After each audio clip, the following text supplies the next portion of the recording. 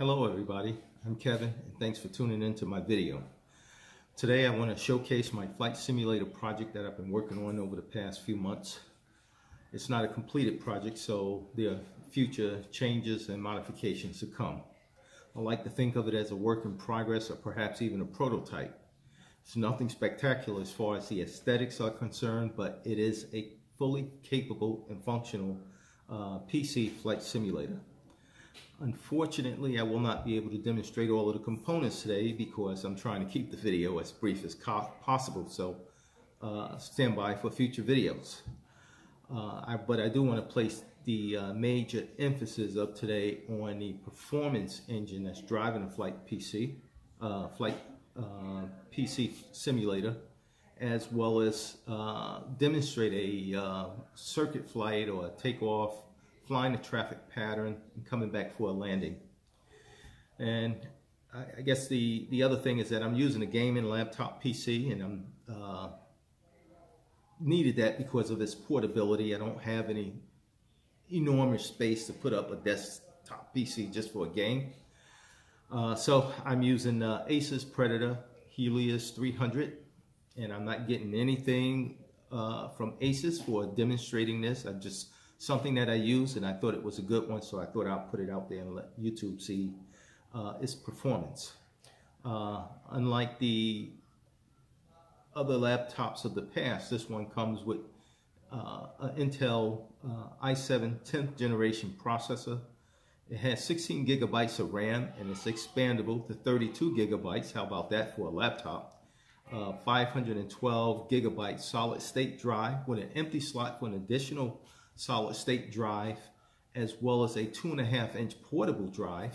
All of that is built in. It got six gigabytes of NVIDIA uh, graphic memory. And I think it's a very capable uh, computer with the high definition 144 hertz uh, IPS display. And the real caveat of this here system is that it only costs $1,306. So I think that's great, especially since I can run Flight Simulator on the ultra high settings. I have uh, X-Plane 11 installed on it. I have uh, DCS uh, Flight Simulator and I really don't want to get into that but nevertheless I have DCS on here and I have X-Plane as well so and I still got you know a fairly decent amount of uh, room to spare. I installed all of the upgrades that came with uh, Microsoft Flight Simulator and uh, let me take you out there and let you see what it's all about. Hi, I'm back. We're going to do that uh, uh, departure, flight uh, traffic pattern, and come back for the land do that. Complete the one circuit uh, NFSX 2020. Uh, come on over, Stephanie. My daughter's filming this here for me. I really appreciate that. She's a photographer today. Uh, this is the system that I said it was running on. It's the Acer Helios uh, 300, the Predator. Okay, and this is the only computer system that's running this whole, uh, all of these components right here. Okay, I have here a desktop aviator, uh, throttle quadrant, honeycomb yoke. I got the Logitech pedals. Okay, my instrument panel is being ran by uh, Air Manager.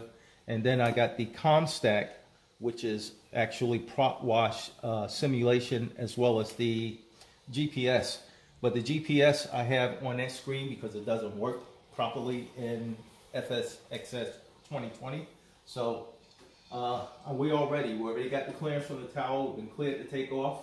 So I'm to increase the throttle here, release the brakes, and off we go. So you should be able to look at it and see the performance is, you know, pretty good. There's no real lagging or anything like that. That may come into play when it tries to load a segment of the uh, uh, area. But anyway, we're in the green. Everything is in the green. We got uh, proper liftoff speed, so we're up in the air. And I'll go ahead and trim my plane a little bit. We got a positive rate of climb. We'll raise the flaps and just to take it outside. Uh, you can see this is the Tampa area that we're flying around in.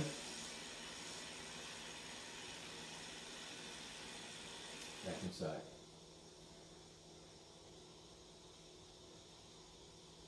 Okay, so anyway, like I said, I'm pretty satisfied with this here. It does operate like a uh, flight simulator is supposed to. Trim it a little bit, take so I can go virtually hands off as it continues to climb. I'm going to climb up to 1,000 feet, and that's the uh, traffic pattern around here.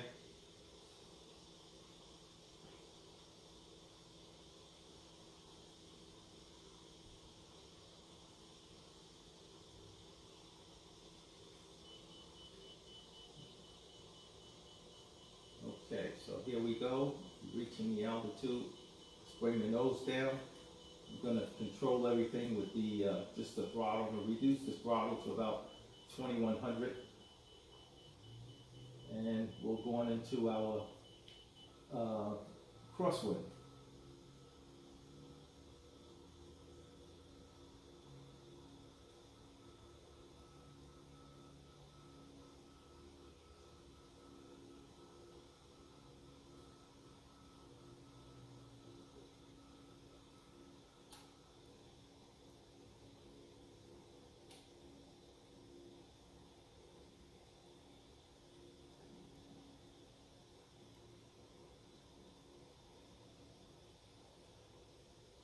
Tampa is the area that I live in, by the way. That's why I chose this location.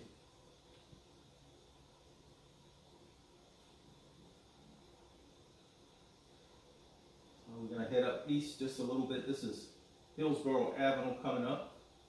And once we pass that, we'll go in and turn uh, northbound.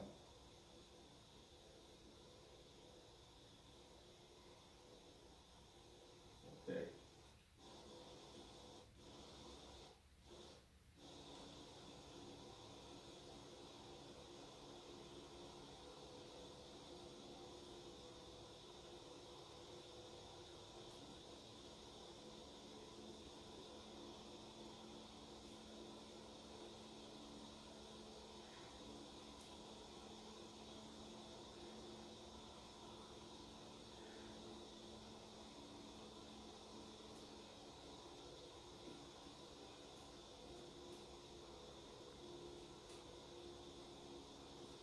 Now, this is the uh, downwind leg. You can see the airport is over there.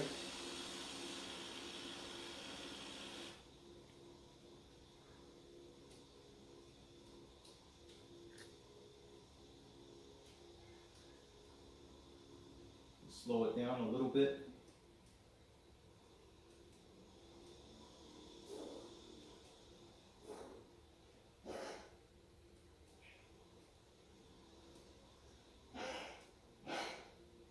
And we'll, should be just about being the numbers. Whoa. No, not quite. Almost.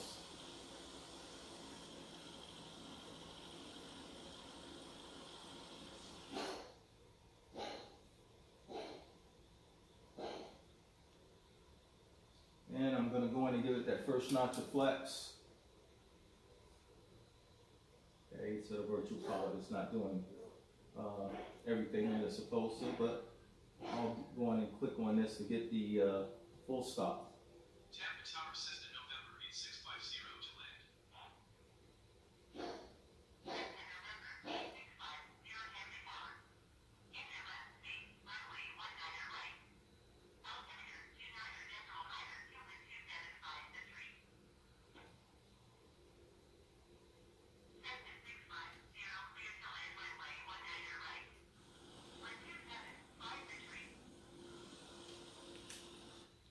Clear to land runway 19er by Cessna 650.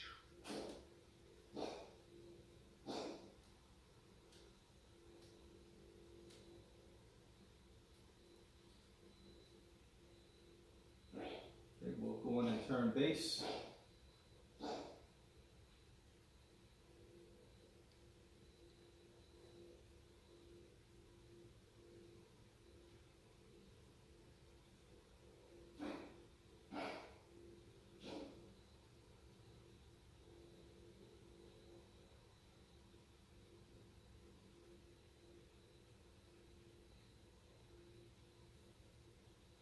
You can't do this in the real world when you're flying, but we can, that's what makes it great as a flight simulator. You can see it right here.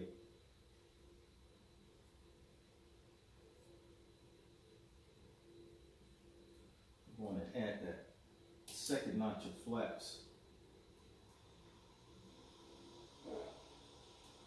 That's a little bit below my uh, speed there. I'm going to keep it around 60, 65 knots.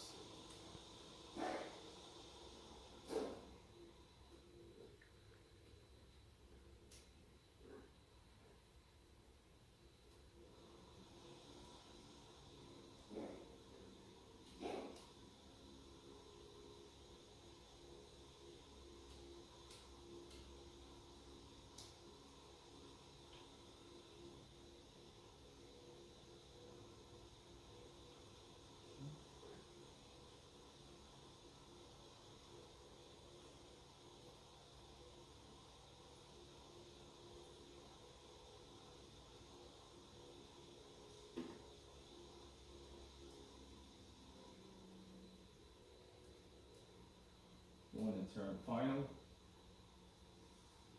Where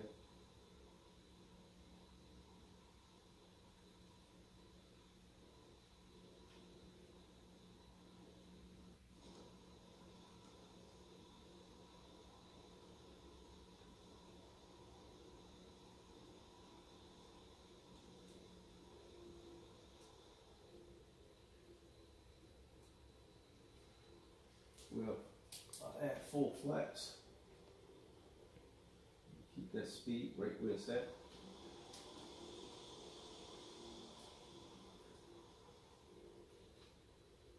Trim.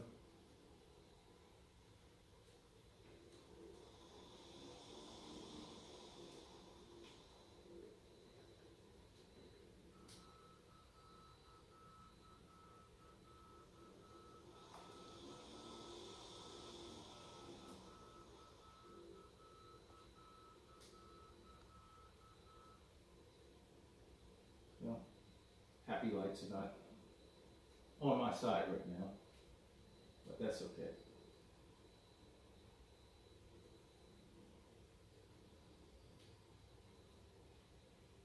There you go. There go one red. Looking for two red. There we go.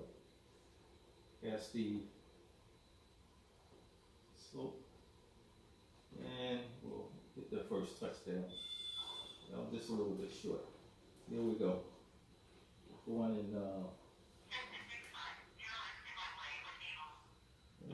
yeah, I can make this first one.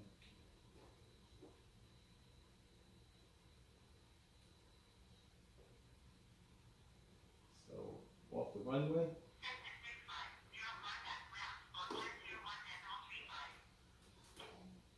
Complete stop. Set the brakes. Raise the flaps, to and we would taxi to the ground. But I'm gonna go on and let it go right here. That's what I said I was gonna do. I thank you for tuning in, and I hope to see you in the next video. If you like this, give me a thumbs up, make a comment. Constructive criticism is always welcome, and thank you for watching.